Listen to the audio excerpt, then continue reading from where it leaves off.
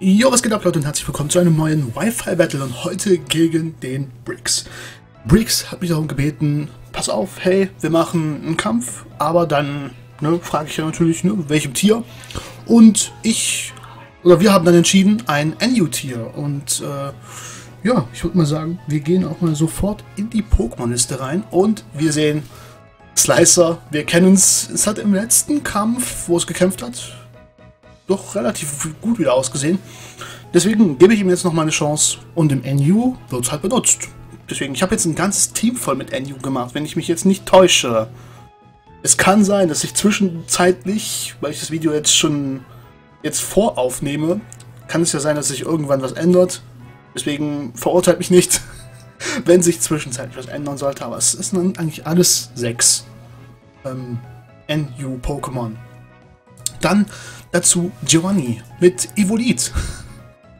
Giovanni mit Evolit. Ich bin gespannt, ob auch hier wieder die Defensive standhalten kann. Smogbomb ist eigentlich relativ klar. Mit Irrlicht, mit Giftspitzen. Giftspitzen? Ich will natürlich jetzt auch keinen Bullshit erzählen. Doch mit Giftspitzen und Matschbombe und Leitteiler. Das ist meine physische Wall. Und neu dazugekommen ist oder sind gleich drei Pokémon.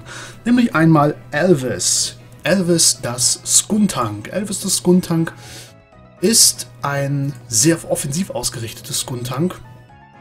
Hat ein bisschen KP-Investment, ein bisschen, ganz kleines bisschen in der Initiative, aber es ist halt voll auf Angriff. Es kann Gifthieb, es kann Verfolgung, es kann Tiefschlag, es kann Verhöhner, also was will man mehr? Dann I Can See You. I Can See You ähm, ist mein Lepomentas. Es hat auch den Rundumblick, deswegen kann es auch alles sehen. Lepomentas ist sehr offensiv ausgerichtet, heißt volles Initiative und volles Spezialangriffsinvestment. Hat auch die dementsprechenden Attacken wie Psychokinese und Erdkräfte. Also, da kann ich eigentlich nichts mehr dazu sagen. Und ich denke, zu Calamanero ist eigentlich nichts mehr zu sagen. Also ich habe jetzt das Calamanero ähm, auch relativ schnell ausgelegt. Und da es sich ja mit Superpower Kraftkoloss relativ schnell boosten kann, ist es eigentlich fast schon selbsterklärend, wie das aufgebaut ist. Oh, ich muss mal hier wieder ein bisschen abändern. Und ich bin mal gespannt, Bricks. Tragosso Sargosso im NU? Okay, ich bin etwas irritiert gerade. Das kannst du dir vielleicht denken. Tragosso im NU? Moment. Lass mich doch mal schauen. Tragosso im NU? Na, NU? Cubone. Cubone ist eigentlich Little Cup.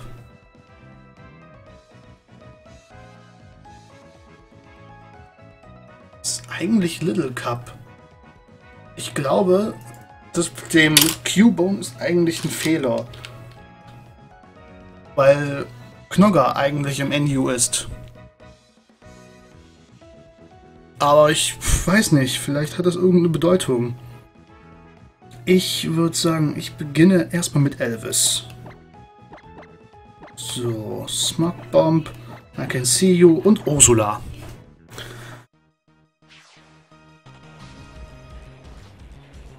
So, okay.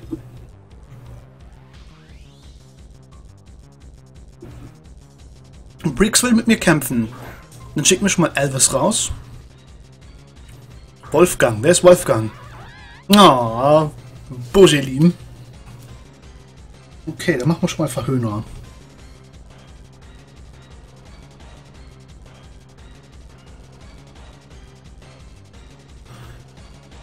Wird zurückgerufen. Das ist schon mal, schon mal sehr gut, denn Bolt, wer ist Bolt? Shiny Tragosso. Also ich weiß nicht. Hat das jetzt einen Grund? Ich mach mal Tiefschlag. Da es jetzt mich sowieso angreifen muss. What? Das muss ein Evoli... Oh oh. Oh oh. Na. Oh, was? Was? Ach du Heilige. Hör doch auf. Okay, ich darf dieses Tragosso nicht unterschätzen. Es macht mehr Probleme, als ich dachte. Aber gut.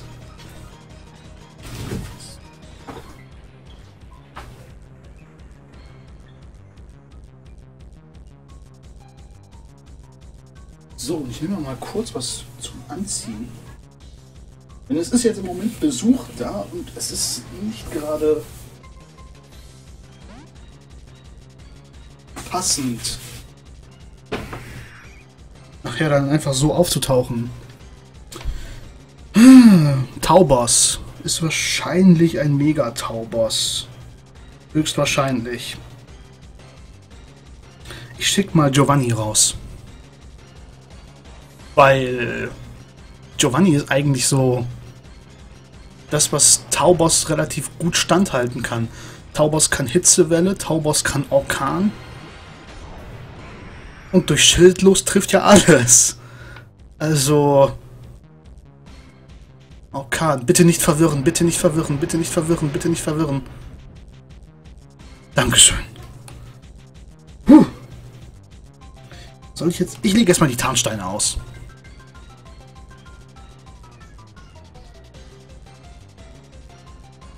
denke, das sollte erstmal genügen. Vielleicht wird Style ja jetzt auch ja, wird zurückgerufen.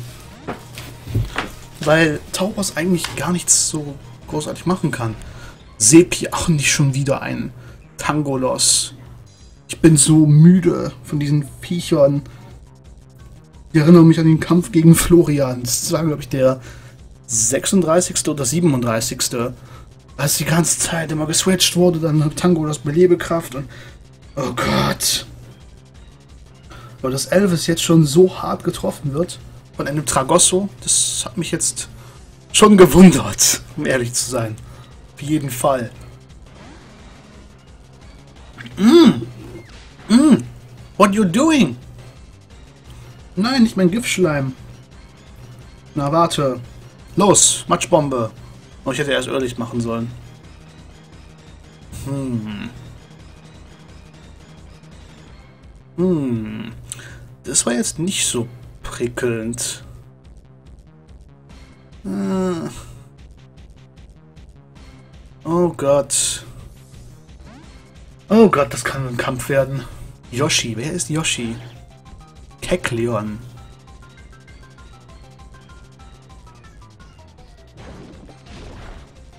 Oh, wie das das auch noch aushält. Unglaublich. Aber es hat keinen Farbwechsel, sondern Wandlungskunst. Das ist schon mal interessant. Trotzdem würde ich jetzt sagen, gehe ich auf Ursula.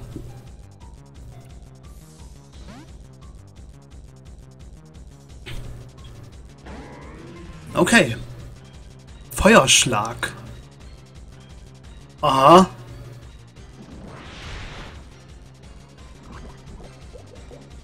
Okay. Angst. So, ich mache jetzt Kraftkoloss. Schattenstoh. Das war tricky. Das war echt tricky.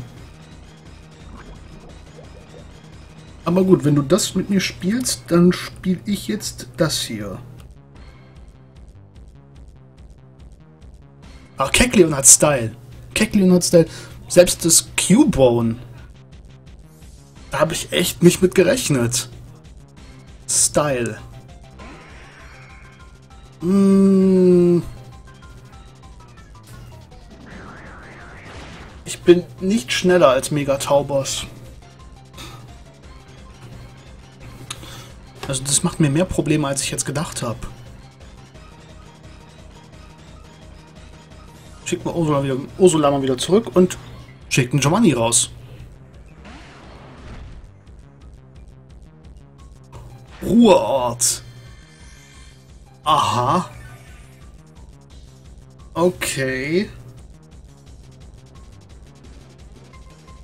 Ich glaube nicht, dass er drin bleibt. Weil die Steinkante kommt. Und die Steinkante würde eigentlich Taubos sofort besiegen. Deswegen gehe ich jetzt einfach mal auf Erdbeben. Kehrtwende. Ich habe jetzt gerade gedacht, warum greift er mich an? Aber dann kommt die Kehrtwende. So mache ich immerhin ein bisschen Schaden. Wenn ich jetzt richtig gehandelt hätte, hätte ich sogar viel Länder machen können, weil vielleicht Tangolos kommt.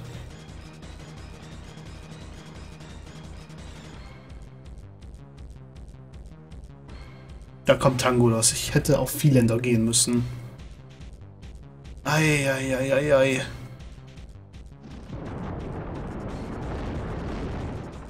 Und natürlich macht's unglaublich viel Schaden. Gut. Wenn du das machst, dann setze ich wieder Smog Bomb ein. Also im Moment kann ich nicht viel machen, weil viel hin und her geswitcht wird. Selbst das... Ah, Egelsamen. Ja, wird ja jetzt richtig witzig. Natürlich hast du noch deine, Re deine Recovery-Möglichkeit und ich nicht.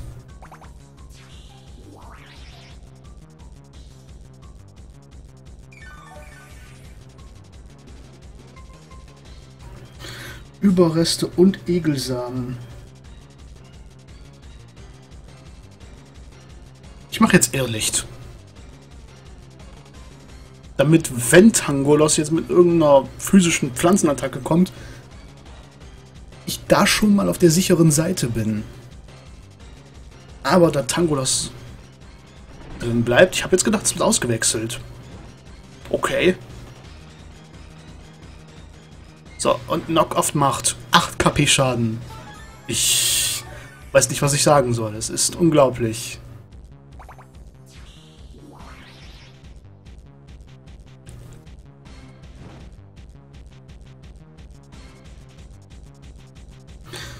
So, und ich gehe jetzt auf Light Tyler. Erstens, weil ich es kann und zweitens brauche ich ein bisschen, ein bisschen Lebenskraft von dir.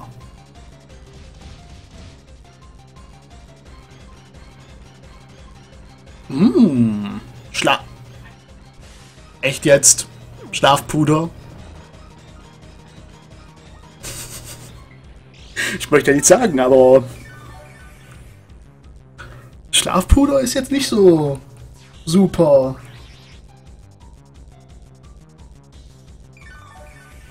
Aber okay, okay, alles klar.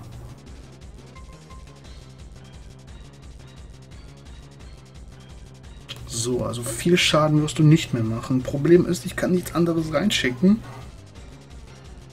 Vielleicht könnte ich jetzt auch einen Hard Switch machen und auf Slicer gehen.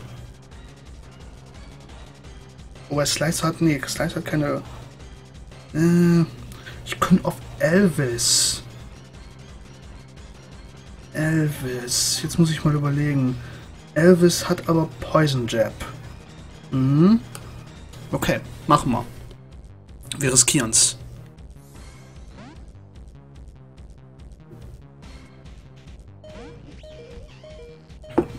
Gigasa. Ah, schade.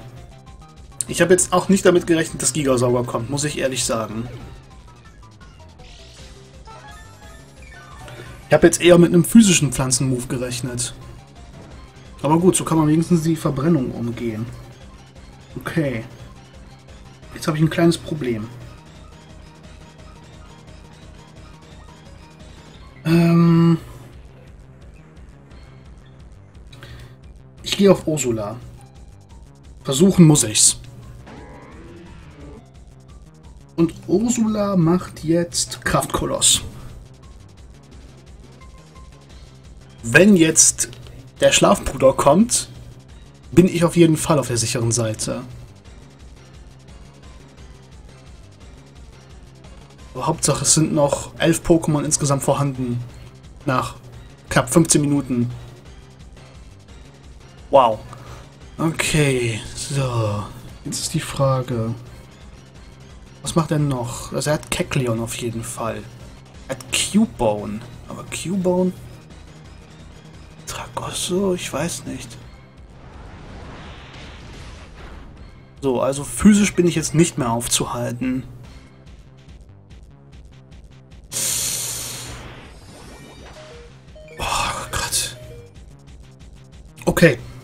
Ich muss jetzt das tun, was ich eigentlich nicht tun wollte. Aber, tja, ich weiß nicht. Es ist von Nöten. Es tut mir leid, Calamanero. Aber leider bleibt mir nichts anderes übrig. Es ist ein Pussy-Move, ich weiß.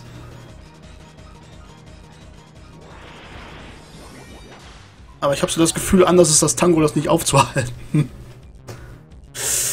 Mm. es tut weh. Aber das ist die Rache für den Schlafpuder, den ich, den ich äh, einstecken musste. So, jetzt werden die Karten vollkommen neu gemischt. Ich schicke mal Smogbomb raus.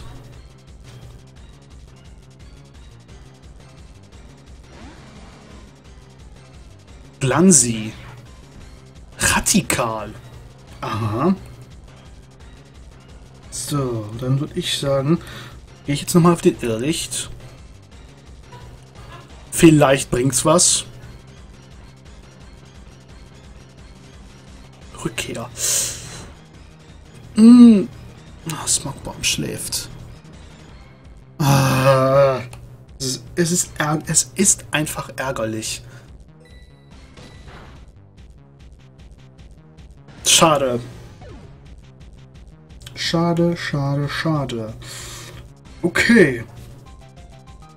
Dann würde ich sagen, gehen wir jetzt auf Slicer. Slicer würde ihm jetzt sowieso erstmal das Item abschlagen. Das schon mal sowieso. Wird zurückgerufen. Okay, was kommt jetzt? Wolfgang wieder. Okay, was kommt, was, was kann der? Schnappt sich das Wahlband. Dankeschön. So. Gut. Dann gehe ich jetzt auf die Kreuzschere. Das Wahlband wird dir schon mal nichts mehr bringen. Puh. Kaskade. Es ist schneller. Es ist scheiße schnell. Ah, Kreuzschere trifft. Ja. Auf Wiedersehen, Wolfgang.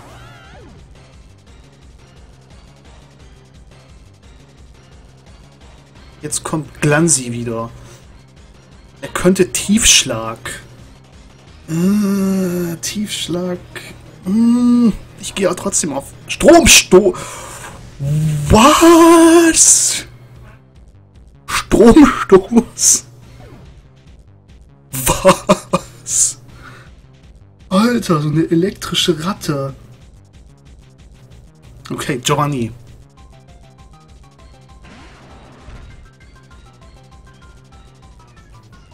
Okay. Ich versuch's jetzt einfach und gehe auf Steinkante. Wenn er jetzt auswechselt, auf was auch immer, wird er vielleicht von der Steinkante getroffen. Wenn er jetzt auf Taubos wechselt, trifft die Steinkante definitiv. Yoshi. Hm. So, und Yoshi ist down. Tut mir leid, TK, dass du dein Signatur-Pokémon verlieren musstest. Auf so eine Art und Weise. Es wird einfach von Steinen aufgespießt. Aber es muss halt sein. Oh. Du willst irgendwas Bodenmäßiges machen. Das habe ich jetzt schon im Urin. Deswegen schicke ich noch meinen kleinen schwebenden Freund hier, I Can See You, raus. Knochenbrand und Schwebe wirkt. Was du natürlich nicht weißt, ist, dass ich speziell ausgelegt bin. Eigentlich sollte es das sein für Bolt. Schade, Tragosso. Hast dich auf jeden Fall wacker geschlagen. Hast mich in der ersten Runde auf jeden Fall super beeindruckt.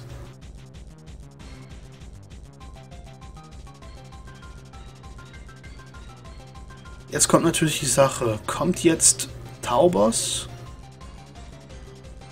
oder Lanzi? Radikal. Oh.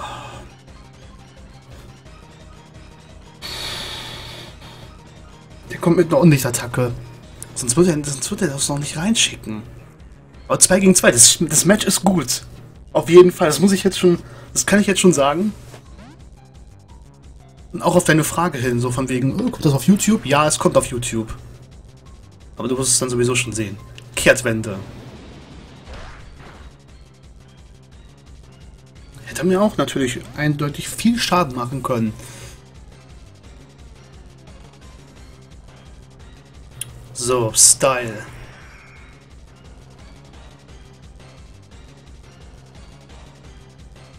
Ähm, dann würde ich sagen, mache ich jetzt Steinkante. Jetzt egal, ob Taubos drin ist oder Radikal. Eine Steinkante und das Ding ist weg. Egal wer. Orkan, bitte nicht verwirrt. Bitte sei nicht verwirrt, bitte sei nicht verwirrt, bitte sei nicht verwirrt. Oh, danke. Ein Hoch auf Schild los. Es ist so eine bescheuerte Fähigkeit von Taubos. Es ist so bescheuert. Ich weiß nicht, also ich weiß nicht, was die sich dabei gedacht haben. Zumal Taubos eh nicht so von Schildlos profitiert, weil die einzig beiden guten Attacken wirklich Orkan und Hitzewelle sind.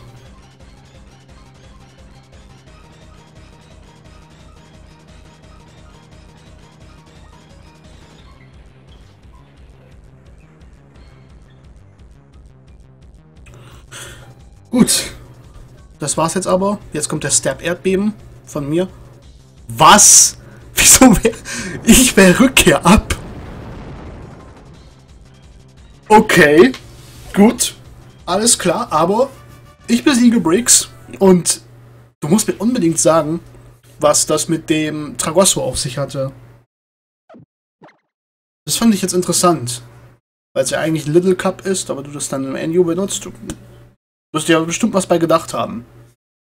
Lasst mir einfach da einen Kommentar da. Und wenn euch dieser Kampf gefallen hat, dann würde ich mich freuen, wenn ihr mir auch wieder Kommentare da lasst.